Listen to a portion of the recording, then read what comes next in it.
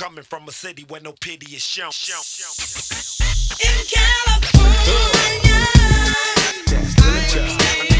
In California. Staring at these suckers who claim to be home.